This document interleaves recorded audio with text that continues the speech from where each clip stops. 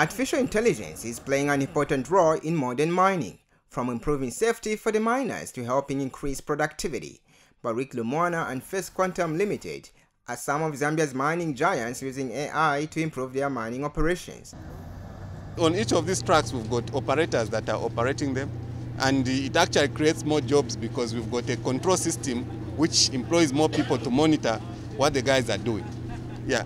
So it's not the extent of artificial intelligence where you have um, actually eliminated the operator from it, no.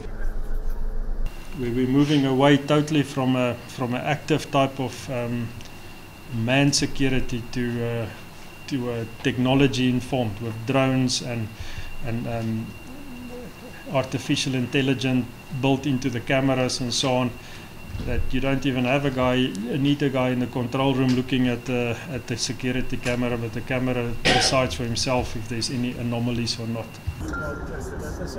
Minister of Science and Technology Felix Mutati is impressed with the mine's application of technology in their operations. The whole thing about AI is one to deliver efficiency, one to reduce on cost, three to boost productivity, four human safety, and five, environmental protection. The government believes AI is the future of mining. It actually cues the loading of trucks.